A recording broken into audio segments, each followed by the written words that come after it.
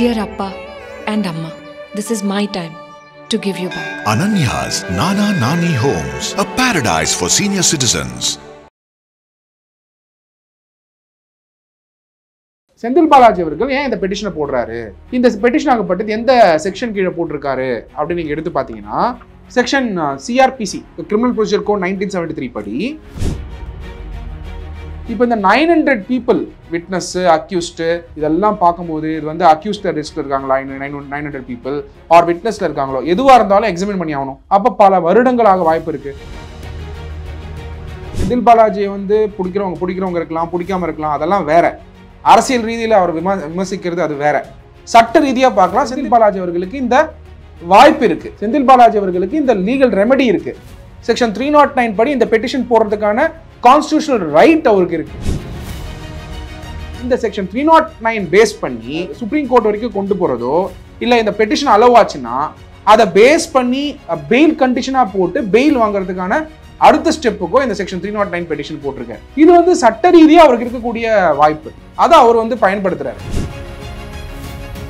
செந்தில் பாலாஜி அவர்கள் section three not nine ஏன் போடுறாரு அப்படின்னு பார்க்கும்போது அந்த பெட்டிஷன் போடுறதுக்கு காரணம் என்ன?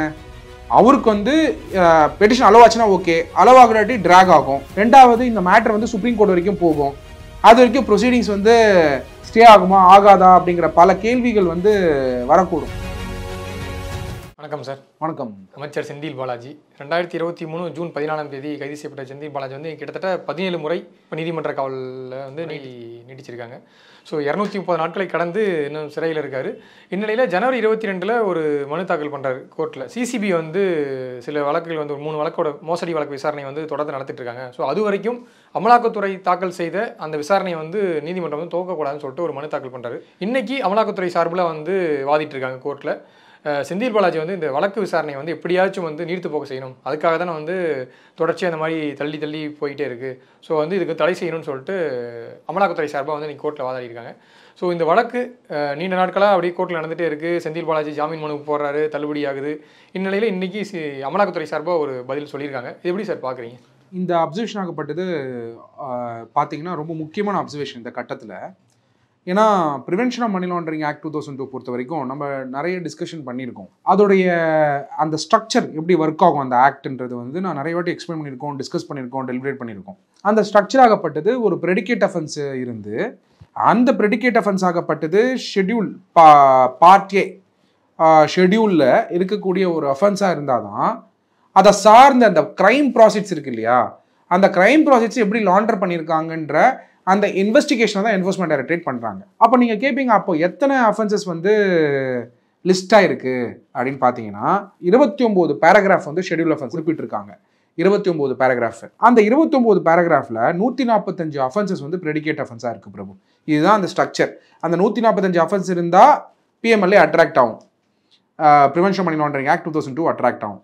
இந்த நூற்றி நாற்பத்தஞ்சு அஃபென்சஸ்ஸு பார்த்தீங்கன்னா ஐபிசி கம்பெனிஸ் ஆக்ட்டு அப்புறம் என்விரான்மெண்ட் ப்ரொடெக்ஷனு அதுக்கப்புறம் water privation preservation prevention and control of pollution act prevention of corruption act customs act இதெல்லாம் இருக்கும். இப்போது செந்தில் பாலாஜி அவர்களுடைய கேஸ் பொறுத்த வரைக்கும் இது பார்த்தீங்கன்னா அவருடைய கேஸ் ஆகப்பட்டது சிசிபியில் இன்வெஸ்டிகேட் பண்ணிகிட்டு இருக்காங்க. அது மட்டும் இல்லாமல் ஐபிசி ப்ரொவிஷன்ஸ் அதில் போட்டிருக்காங்க. அவர் வந்து அமைச்சராக இருந்ததுனால ப்ரிவென்ஷன் ஆஃப் கரப்ஷன் ஆக்ட் கேஸஸும் இதில் வந்து சேர்க்கப்பட்டிருக்கும். அப்படின்னும் பொழுது இப்போது இந்த கேஸ் ஆகப்பட்டது அமர்வு நீதிமன்றத்தில் தான் இருந்துக்கிட்டு இருக்கு. அமர்வு நீதிமன்றத்தில் ஏன் இந்த கேஸ் இருக்குது அப்படின்னு பார்த்தீங்கன்னா பிஎம்எல்ஏ இன்வெஸ்டிகேஷன் இருக்கிறதுனால தான் அமர்வு நீதிமன்றத்தில் இருந்துகிட்டு இருக்கு. இப்போ அடுத்த கொஸ்டின் உங்ககிட்ட மைண்டில் இருக்கும். என்னன்னா sir MP எம்எல்ஏனா special court for MP MLA தான் இந்த ட்ரையல் நடந்திருக்கணும். அதோட ப்ரொசீடிங்ஸ் நடக்கணும் அப்படின்னு கேட்கும்பொழுது ப்ரிவென்ஷன் ஆஃப் மணி லாண்டரிங் ஆக்டில் செக்ஷன் ஃபார்ட்டி ஃபோர் இருக்குது Prabhu. Section forty four of the prevention of money laundering act two thousand two படி கிளப்பிங் பண்ணணும். பிஎம்எல்ஏ அட்ராக்ட் ஆயிடுச்சுன்னா இடி இன்வெஸ்டிகேஷன் ஸ்டார்ட் ஆயிடுச்சுன்னா கிளப் பண்ணி அமர்வு நீதிமன்றத்தில் தான் நடத்தணுங்கிறத அந்த செக்ஷனில் சொல்லப்பட்டிருக்கு. கிளப்பிங் மீன்ஸ் அதாவது பிஎம்எல்ஏ இன்வெஸ்டிகேஷனையும் பிஎம்எல்ஏ சார்ஜ் ஷீட்டையும் ப்ரெடிகேட் அஃபென்ஸோட சார்ஜஸ் சார்ஜஸையும் கிளப் பண்ணி அமர்வு நீதிமன்றத்தில் தான் பண்ணணும். ஸ்பெஷல் கோர்ட் போக தேவையில்லை. ஸ்பெஷல் கோர்ட் ஃபார் எம்பிஎம்எல்ஏ இனிமே கேஸ் இருக்காதுங்கிறதுக்கான அண்டர்ஸ்டாண்டிங் வந்து செக்ஷன் ஃபார்ட்டி ஃபோர்ல சொல்லப்பட்டிருக்கு. ஏன் அப்படின்னா இந்த ரிக்குவயர்மெண்ட் வந்து ப்ரெடிகேட் அஃபென்ஸ் ஒரு ட்ரையல்லையும் பிஎம்எல்ஏ இன்வெஸ்டிகேஷன் மேட்டர்ஸ் வந்து அமர்வு நீதிமன்றத்திலையும் இருந்துகிட்டு இருந்தா இன்கன்சிஸ்டன்சி இருக்கும் அப்படிங்கிறத யூகிச்சு அப்ப இருந்த லெஜிஸ்லேட்டர்ஸ் வந்து இந்த ஆக்டை கொண்டு வந்தாங்க இல்லையா? யார் லெஜிஸ்லேட்டரு அப்ப இருந்த லெஜிஸ்லேட்டர் காங்கிரஸ் பட் டிஎம்கே அவங்க தான் இந்த சட்டத்தை கொண்டு வந்தது. அதில் கொண்டு வரும் பொழுது என்ன பண்ணாங்கன்னா இதை கிளப் பண்ணிடலாம் அப்படின்னு சொல்லிட்டு இந்த செக்ஷன் ஃபார்ட்டி ஃபோரை வந்து ரிசர்ச் பண்ணி கொண்டு வராங்க. இப்போ இது ஒரு பக்கம் இருக்க. செந்தில் பாலாஜி அவர்கள் ஏன் இந்த பெட்டிஷனை போடுறாரு?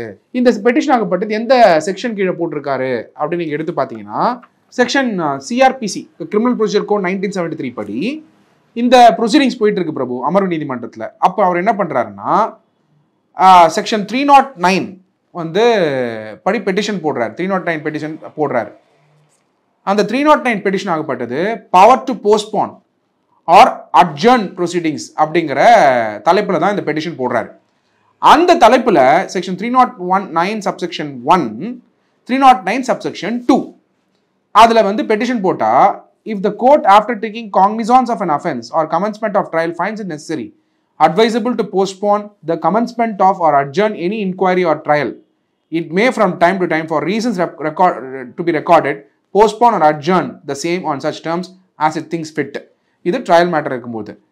இன் எவ்ரி என்கொயரி சப்செக்ஷன் ஒன்ல என்ன சொல்லப்பட்டிருக்குன்னா in every enquiry or trial the proceedings shall be ex continued from the day to day until all the witness in attendance have been examined. Unless the court finds the adjournment of the same beyond the following day to necessary for the reasons to be recorded. இப்போ CCB உடைய charge sheet file பண்ணும்பொழுது அதில் nine hundred பீப்புளுக்கு மேற்பட்டவங்கள அந்த charge ஷீட்டில் add பண்ணியிருக்காங்க. இப்போ இந்த nine hundred people witness accused இதெல்லாம் பார்க்கும்போது இது வந்து அக்யூஸ்ட் லிஸ்ட்டில் இருக்காங்களா nine nine hundred people are விட்னஸில் இருக்காங்களோ எதுவாக இருந்தாலும் எக்ஸாமின் பண்ணி ஆகணும். அப்போ பல வருடங்களாக வாய்ப்பு இருக்குது அப்போ ரெண்டாவது வந்து பார்த்தீங்கன்னா Vijay Madanlal Choudhary versus Union of India அப்படிங்கிறது தான் பிஎம்எல்ஏ சட்டத்துக்கு வந்திருக்கக்கூடிய லேண்ட்மார்க் ஜட்மெண்ட் அந்த ஜட்மெண்ட் எடுத்து பார்த்தீங்கன்னா பிரபு என்ன சொல்லியிருந்தாங்க? என்ன சொல்கிறாங்கன்னா ப்ரெடிகேட் அஃபென்ஸ் அதாவது ஷெட்யூல் அஃபென்ஸ் வந்து அக்விட் ஆயிட்டாலோ இல்லை டிஸ்சார்ஜ் ஆயிட்டாலோ டிஸ்சார்ஜ் ஆயிட்டாலோ அப்போ வந்து பிஎம்எல்ஏ ப்ரொசீடிங்ஸ் அப்ளிகபிள் ஆகாது. அது நடக்கவே நடக்காது. அப்போ அந்த மாதிரி ஒரு சுச்சுவேஷன் வர வாய்ப்பு இருக்கு எனக்கு. டிஸ்சார்ஜோ இல்லை அக்விட்டலோ ஆகிறதுக்கான வாய்ப்புகள் இருக்குது அதனால நீங்கள் செக்ஷன் த்ரீ நாட் நைன் படி நீங்கள் வந்து அட்ஜன் த ப்ரொசீடிங்ஸு ஸோ சிசிபியுடைய ஒர்க் முடிகிற வரைக்கும் சார்ஜஸ் ஃப்ரேம் பண்ணுற வரைக்கும் நீங்கள் வந்து பிஎம்எல்ஏல இன்வெஸ்டிகேட் பண்ணுறதுக்காக கஸ்டடியில் வச்சுருக்கிறது வந்து தேவைப்படாதுங்கிறது அடுத்த பெடிஷனில் போடுவார். விசாரணை மட்டும் வேணும்னு சொல்லி சொல்லியிருக்காரு. சொல்லியிருக்காரு. அடுத்து கஸ்டடியே தேவைன்னு சொல்லிட்டு அடுத்த பெட்டிஷன் இது என்ன ஆகும்னா பிரபு இது என்ன அவர் ட்ரை பண்றாரு? செந்தில் பாலாஜி அவர்கள் ட்ரை பண்றாருன்னா ஃபர்ஸ்ட் ஆஃப் ஆல் ஒன்று புரிஞ்சுக்கணும். செந்தில் பாலாஜியை வந்து பிடிக்கிறவங்க பிடிக்கிறவங்க இருக்கலாம் பிடிக்காம இருக்கலாம் அதெல்லாம் வேற. அரசியல் ரீதியில் அவர் விம விமர்சிக்கிறது அது வேற. சட்ட ரீதியா பார்க்கலாம். செந்தில் செந்தில் பாலாஜி அவர்களுக்கு இந்த வாய்ப்பு இருக்கு. செந்தில் பாலாஜி அவர்களுக்கு இந்த லீகல் ரெமெடி இருக்கு. செக்ஷன் த்ரீ நாட் நைன் படி இந்த பெட்டிஷன் போடுறதுக்கான கான்ஸ்டியூஷனல் ரைட் அவருக்கு இருக்கு. இந்த பெட்டிஷனை அமர்வு நீதிமன்றத்தில் போடுறாரு. இப்போ அமர்வு நீதிமன்றம் ஒன்று இந்த பெட்டிஷனை டிஸ்மிஸ் பண்ணலாம். இல்லை இந்த பெட்டிஷனை வந்து எடுத்து விசாரித்து அதை உரிய ஜட்மெண்ட்டை பாஸ் பண்ணலாம். இப்போ இந்த பெட்டிஷன் அலோ பண்ணால் செந்தில் பாலாஜிக்கு சாதகமாகவும் அப்புறம் வந்து இடி வந்து பாதகமாகவும் இருக்கும் பொழுது இடி மேல்முறையீடு போவாங்க ஹைகோர்ட்டுக்கு. திருப்பி ஹைகோர்ட்டில் அலோ பண்ணால் செந்தில் பாலாஜி அவர்களுக்கு அலோ பண்ணி இல்லாட்டி இடிக்கு அப்புறம் அவங்களுக்கு அந்த ஆப்பர்ச்சுனிட்டி ஆஃப் அப்பீல் இருக்குது அப்போ சுப்ரீம் கோர்ட் வரைக்கும் இந்த பெட்டிஷன் டிராவல் ஆகிறதுக்கான வாய்ப்பு இருக்குது செந்தில் பாலாஜி சாதகமாக இருந்தாலும் சரி செந்தில் பாலாஜி அவர்களுக்கு பாதகமாக இருந்தாலும் சரி சுப்ரீம் கோர்ட் வரைக்கும் இந்த மேட்ரு வந்து அப்பீல் போகிறதுக்கான வாய்ப்புகள் இருக்குது ஏன்னா செக்ஷன் த்ரீ நாட் நைன் போட்டு அதாவது சிசிபி கேஸோடைய சார்ஜஸ்லாம் முடிகிற வரைக்கும் நீங்கள் வந்து பிஎம்எல்ஏல வந்து நிறுத்தணும் அப்படின்னு சொல்லும் பொழுது பிஎம்எல்ஏ ப்ரொசீடிங் நின்றுட்டா செக்ஷன் ஃபார்ட்டி ஃபோர் அப்ளை ஆகாது. Section forty four apply ஆகலன்னா section forty four of the prevention money laundering act அந்த ப்ரொசீடிங்ஸ் அட்ஜன் பண்ணிட்டா திருப்பி ப்ரெடிகேட் அஃபென்ஸ் ஆகப்பட்டது எங்கே போகும்? ப்ரெடிகேட் அஃபென்ஸ் ஆகப்பட்டது ஸ்பெஷல் கோர்ட் ஃபார் எம்பிஎம்எல்ஏக்கு போகும். இந்த ஒரு கடினம் இருக்குது ஒரு கோர்ட் ப்ரொசீஜர்லேயே அப்போது இந்த section three not nine base பண்ணி இதை ஒரு சுப்ரீம் கோர்ட் வரைக்கும் கொண்டு போகிறதோ இல்லை இந்த பெட்டிஷன் அலோவ் ஆச்சுன்னா அதை பேஸ் பண்ணி பெயில் கண்டிஷனாக போட்டு பெயில் வாங்குறதுக்கான அடுத்த ஸ்டெப்புக்கோ இந்த section three not nine petition போட்டிருக்காரு. இது வந்து சட்ட ரீதியாக அவருக்கு இருக்கக்கூடிய வாய்ப்பு. அதை அவர் வந்து பயன்படுத்துறாரு. அதே மாதிரி இடி தரப்புலையும் வந்து இப்போ அவங்க பதில் மனு பண்ணியிருக்காங்களா சார்? இது மாதிரி வந்து வழக்கோட விசாரணையை வந்து நீட்டிக்கிறதுக்காகவோ இல்லை வந்து இதை வந்து கொஞ்சம் டிலே பண்ணலான்றதுக்காக தான் செந்தில் பாலாஜி வந்து இந்த மாதிரிலாம் பண்ணிட்டு இருக்காரு ஸோ இது வந்து சாட்சியங்களையோ இல்லை மற்ற விஷயங்களையோ வந்து இது கொலாப்ஸ் பண்ணும். ஸோ இது வந்து தடை விதிக்குன்னு சொல்லிட்டு இடி தரப்பில் வந்து இப்போ ஒரு பதில் மூலமாக தாக்கல் பண்ணியிருக்காங்க. ஸோ இடி தரப்பில் அது அவங்க ப்ரொசீஜரா சார்? இந்த மாதிரி ஆ கண்டிப்பா பிரபு. இப்போ இடி தரப்பு பொறுத்த வரைக்கும் ஏன் என்ஃபோர்ஸ்மெண்ட் டைரக்டரேட் அந்த மாதிரி ஒரு பெட்டிஷன் போடுறாங்கன்னா அதோட உள்நோக்கம் அந்த பெட்டிஷனோட உள்நோக்கம் இருக்கு இல்லையா? செந்தில் பாலாஜி அவர்கள் செக்ஷன் த்ரீ நாட் நைன் ஏன் போடுறாரு? அப்படின்னு பார்க்கும்போது அந்த பெட்டிஷன் போடுறதுக்கு காரணம் என்ன? அவருக்கு வந்து பெட்டிஷன் அளவாச்சுன்னா ஓகே அளவாகிறாட்டி ட்ராக் ஆகும். ரெண்டாவது இந்த மேட்டர் வந்து சுப்ரீம் கோர்ட் வரைக்கும் போகும். அது வரைக்கும் ப்ரொசீடிங்ஸ் வந்து ஸ்டே ஆகுமா ஆகாதா அப்படிங்கிற பல கேள்விகள் வந்து வரக்கூடும். அதனால் வந்து ப்ரொசீடிங் ப்ரொசீடிங்ஸ் ட்ராக் ஆகும் அப்படிங்கிற பெட்டிஷனை என்ஃபோர்ஸ்மெண்ட் டைரக்டரேட் போடுறாங்க. ஏன்னா அவங்களுக்கு லாஃபுல்லாக அவங்க கொடுக்க வேண்டிய ரிப்ளை அவங்க கொடுக்குறாங்க. அதனால செந்தில் பாலாஜி பொறுத்த வரைக்கும் அவர் section three not nine petition போட்டு ஃபர்தராக வந்து பெயில் போடுறதுக்கான வாய்ப்புகளை தேடுறதுக்காக தான் செந்தில் பாலாஜி அவர்கள் இந்த இந்த பெட்டிஷன் ஸ்டார்ட் பண்ணியிருக்காரு. ஏன்னா சேஞ்ச் இன் கண்டிஷனுங்கிறது ரொம்ப அவசியம். அந்த சேஞ்ச் இன் கண்டிஷன் ஆகப்பட்டது. ப்ரொசீடிங் ஸ்டாப் ஆச்சுன்னா அடுத்த நிமிஷமே பெயில் போடுறதுக்கான போடுறதுக்கான வாய்ப்புகள் இருக்கு. இடி என்ன சொல்லியிருக்காங்க சாட்சிகளோட விசாரணை வந்து இது இன்னும் முடக்கிற செயல் தான் சாட்சிகளை கூப்பிட்டு விசாரிக்கிறது வந்து இவர் இப்படி பண்ணுறது வந்து இன்னும் முடக்குன்றாங்க இடி முன்னாடி சொல்லிட்டு இருக்குது அமைச்சர் பதவியை பயன்படுத்தி சாட்சிகளை வந்து கலைச்சிருவாருன்ட்டு. ஸோ இந்த மாதிரி டிலே ஆகிறதும் அதுக்கு ஒரு வாய்ப்பு அமையுமா இது எப்படி ஆகும்னு நினைக்கிறீங்க? இப்போ சாட்சியங்களோட லிஸ்ட் கொடுக்குறாங்க. அக்யூஸ்டோட லிஸ்ட் கொடுத்தாச்சு சார்ஜஸ் கொடுத்தாச்சு. சார்ஜஸ் வந்து கோர்ட் வந்து சார்ஜஸ் ஃப்ரேம் பண்ற இடத்துக்கு வந்தாச்சு. வந்ததுக்கப்புறம் ஃபர்தராக வந்து என்ஃபோர்ஸ்மெண்ட் டைரக்டரேட்டோட பாயிண்ட் என்ன? அவங்களுடைய இன்வெஸ்டிகேஷனுக்கு இது தடையாக இருக்கும்ன்றது. சிசிபி பொறுத்த வரைக்கும் அவங்க வந்து ஆல்ரெடி வந்து அவங்க சார்ஜஸ் சார்ஜ் ஷீட் ஃபைல் பண்ணிட்டாங்க. அந்த சார்ஜ் ஷீட்டில் நைன் ஹண்ட்ரட் பீப்புள் லிஸ்ட் ஆயிருக்காங்க. ஃபர்ஸ்ட் அக்யூஸ்ட் ஆயிருக்காங்களா? இல்லை விட்னஸ் ஆயிருக்காங்களாங்கிறது சார்ஜ் ஷீட் ப்ரொடியூஸ் பண்ண அப்புறம் தான் எல்லாருக்கும் தெரிய வரும். அண்ட் டோன்ட் ஃபர்கெட் ஏன் நைன் ஹண்ட்ரட் பீப்புள் இது வந்து சிசிபி வந்து ஆட் பண்ணியிருக்காங்கன்ற கேள்வி வரும்போதெல்லாம் மறந்துடாதீங்க. ரெண்டாயிரத்தி இருபத்தி ரெண்டு வந்த ஜட்மெண்ட் பற்றி செந்தில் பாலாஜியோட கேஸில் ரெண்டாயிரத்தி இருபத்தி ரெண்டில் சுப்ரீம் கோர்ட்டில் லார்ட்ஷிப் ஜஸ்டிஸ் ராமசுப்ரமணியம் அவர்களுடைய ஜட்மெண்ட்டில் அக்ரீவ்டு பார்ட்டினா யார் யார் விக்டிம்ங்கிறத வந்து கிளியராக கொடுத்துருக்காரு Prabhu. Prabhu it's a landmark judgment the history of India Indian Supreme கோர்ட்டில் வந்து லேண்ட்மார்க் ஜட்ஜ்மெண்ட்டில் விக்டிம்னா யார்? ஒரு ப்ரிவென்ஷன் ஆஃப் கரப்ஷன் ஆக்ட் அதாவது ஜாப் ஃபார் ஸ்கே சேல் ஸ்கேம் இந்த மாதிரி இருக்கக்கூடிய ஸ்கேமில் வேலைக்கு வாங்கிறதுக்காக காசு கொடுத்து ஏமாந்தவங்க விக்டிமா இல்லை அந்த காசு கொடுத்ததுனால இன்னொருத்தர் கிடைக்கக்கூடிய வாய்ப்பு மெரிட்ல கிடைக்க கிடைக்க வேண்டிய வேலை கிடைக்காம போன போனவர் வந்து விக்டிமா அப்படிங்கிறத பத்தி டீட்டெயில்டு ஆர்குமெண்ட்டை பார்த்தீங்கன்னா டீட்டெயில்டு அப்சர்வேஷனை சுப்ரீம் கோர்ட் வந்து ஆர்குமெண்ட்ஸ் ரெண்டு சைடு கேட்டுட்டு Supreme Court has come out with judgment அந்த ஜட்மெண்ட் ஆகப்பட்டது லார்ட்ஷிப் ஜஸ்டிஸ் ராமசுப்ரமணியம் அவர்கள் வந்து இது கொடுத்துருக்காரு ரெண்டாயிரத்தி இருபத்தி ரெண்டில். அந்த ஜட்மெண்ட்டையும் நீங்கள் எடுத்து பார்த்தீங்கன்னா அதனால யாரெல்லாம் வந்து பணம் கொடுத்தாங்களோ விட்னஸ்ஸு அக்யூஸ்டு இந்த லிஸ்ட் ஆகப்பட்டது பெருசாக இருக்குது அந்த ஜட்மெண்ட்டை பேஸ் பண்ணி இருக்கிறதுனால அதனால இந்த இன்வெஸ்டிகேஷன் அந்த நோக்கத்தில் பண்ணியிருக்கிறதுனால. அப்போது இந்த சிசிபி வந்து அவங்க கடமையை செஞ்சுட்டாங்க. என்ன கடமை? சார்ஜ் ஷீட் ஃபைல் பண்ணுறது பண்ணியாச்சு. கோர்ட் வந்து சார்ஜஸ் ஃப்ரேம் பண்ணணும். செந்தில் பாலாஜி அவர்கள் இந்த பெட்டிஷன் போடுறாரு. என்ஃபோர்ஸ்மெண்ட் டைரக்டரேட் வந்து இதனால் டிலே ஆகும்னு அவங்க ஒரு பெட்டிஷன் போடுறாங்க.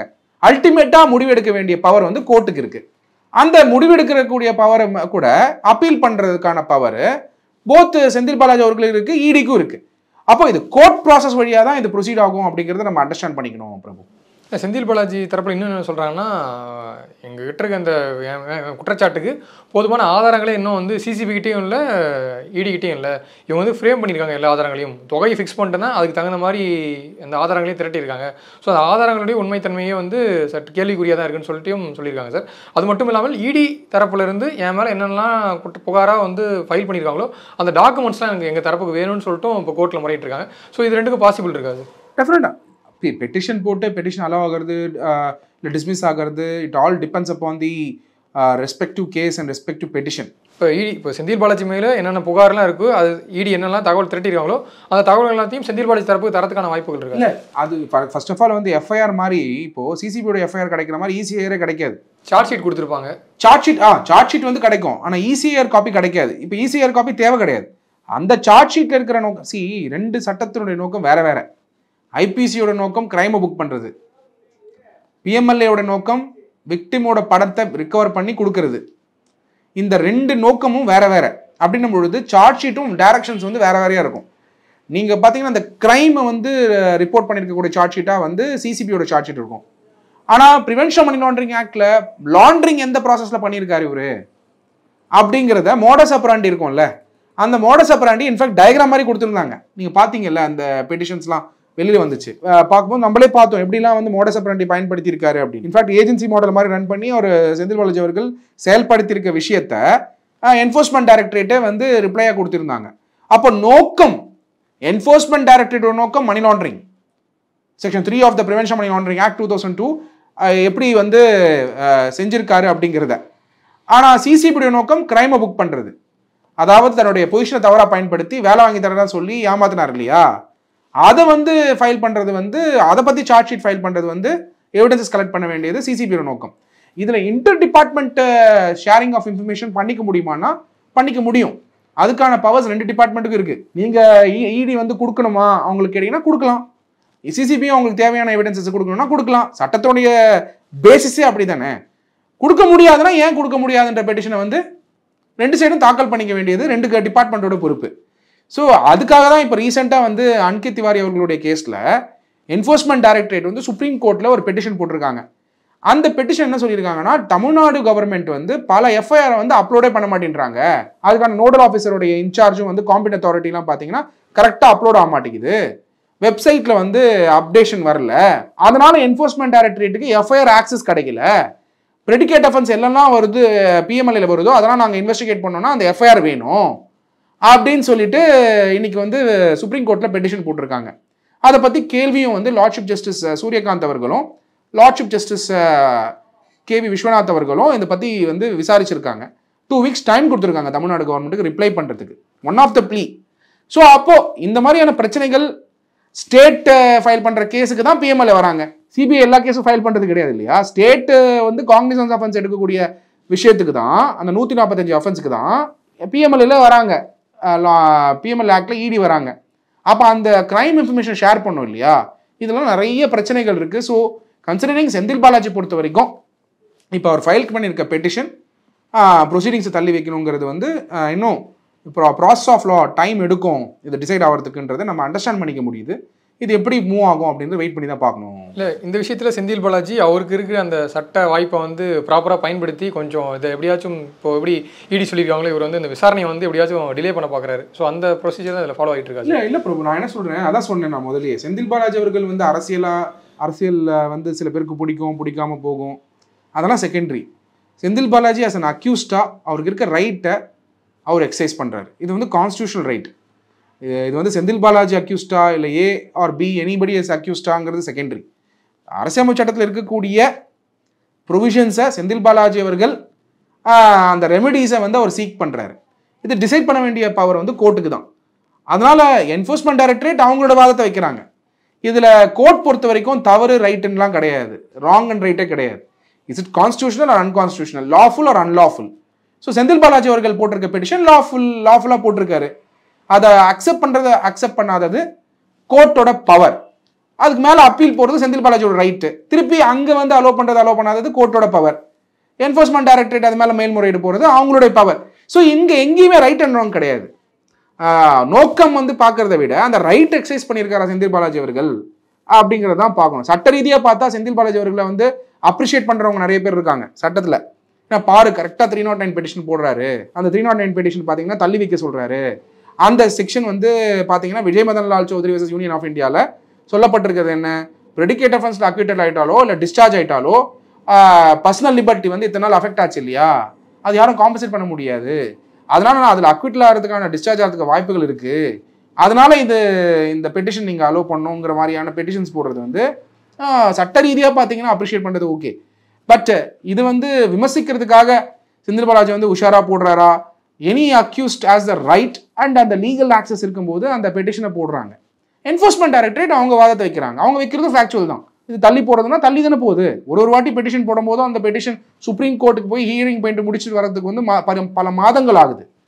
அதனால வந்து அவங்களோட வழக்கும் தடைப்படுறதுக்கான வாய்ப்புகள் இப்போ habeas corpus petition Senthil Balaji அவர்கள் போட்ட டைமில் என்ஃபோர்ஸ்மெண்ட் டைரக்டரேட் வந்து பெருசாக விசாரிக்க முடியல அவரை.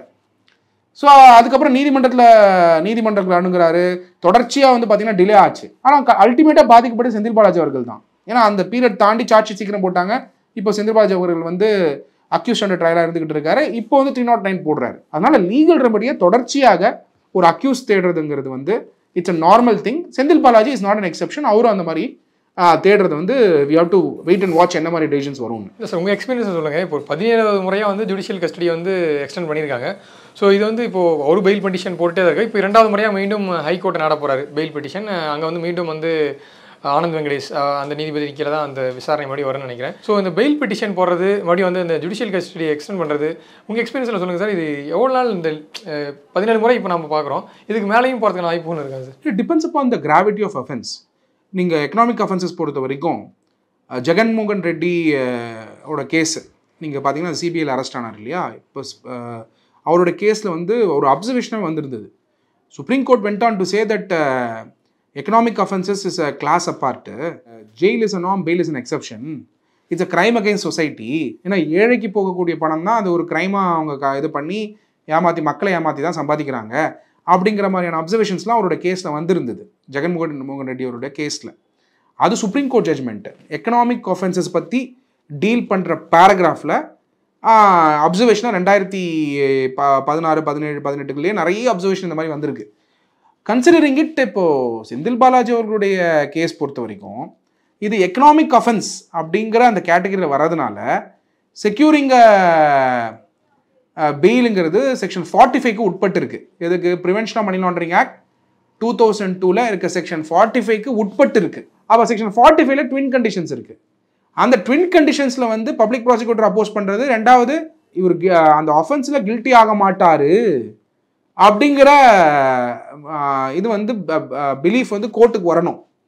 அந்த மாதிரி பிலீஃப் வராத வரைக்கும் அவருக்கு பெயில் கிடைக்கிறது கஷ்டம் அப்படிங்கிறதெல்லாம் ட்வின் கண்டிஷன்ஸுடைய சாராம்சம். அப்போ பார்க்கும்பொழுது செந்தில் பாலாஜியோட கேஸ் வந்து சுப்ரீம் கோர்ட் பெட்டிஷன்ஸ்லேயே நிறைய இடங்களில் வந்து பார்த்தீங்கன்னா தொடர்ச்சியாக ஜட்மெண்ட் வந்தது இல்லையா? லார்ட்ஷிப் ஜஸ்டிஸ் ராமசுப்ரீம் அவர்களுடைய ஜட்மெண்ட்டில் தொடர்ந்து பார்த்தீங்கன்னா விக்டிம்னா யார்? அப்புறம் பார்த்தீங்கன்னா மே பதினாறு ரெண்டாயிரத்தி இருபத்தி மூணு அன்னைக்கு ஃப்ரெஷ் இன்வெஸ்டிகேஷன் பிஎம்எல்ஏ வந்து ஈடி பண்ணலாம். இந்த மாதிரி பல விஷயங்கள் வந்து was discussed as part of the judgment அதனால் செந்தில் பாலாஜி அவரோட கேஸ் வந்து ரொம்ப ஸ்ட்ராங்காக இருக்கிறதுனால கிராவிட்டி ஆஃப் அஃபென்ஸ் வந்து மக்களை சார்ந்து இருக்கிறதுனால அதனால தான் அவருக்கு பெயில் செக்யூர் பண்ணுறதுக்கு ரொம்ப கடினமாக இருக்குன்றதை நம்ம புரிஞ்சுக்கணும்.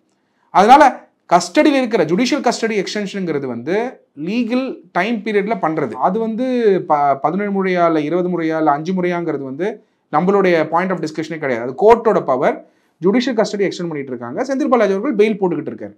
So that is the essence of the அவருடைய லீகல் ஸ்ட்ராட்டஜி பட் அவர் இப்போ இந்த த்ரீ நாட் நைன் பெட்டிஷன் என்ன ஆகுதுன்னு பார்க்கணும். சப்சிக்வெண்ட்டாக அந்த த்ரீ நாட் நைன் பெட்டிஷன் வந்து இம்பாக்ட் வந்து செக்ஷன் ஃபார்ட்டி ஃபோர் மேலே என்ன இருக்குன்னு பார்க்கணும். மீன்வெல் செந்தில் பாலாஜி அவர்கள் அடுத்த பெயில் கிரவுண்ட்ஸ் என்ன போடுவாருங்கிறத சேஞ்ச் இன் கிரவுண்ட்ஸ் என்ன போடுவாருங்கிறத வெயிட் பண்ணி பார்க்கணும். கண்டிப்பாக சார் இந்த வழக்கை பற்றி நேரம் ஒதுக்கி பல தகவலை ஷேர் பண்ணி உங்கள் நேரத்திற்கு ரொம்ப நன்றி சார் நன்றி பிரபு. Dear Appa and Amma, this is my time to give you back. Ananya's Nana Nani Homes, a paradise for senior citizens.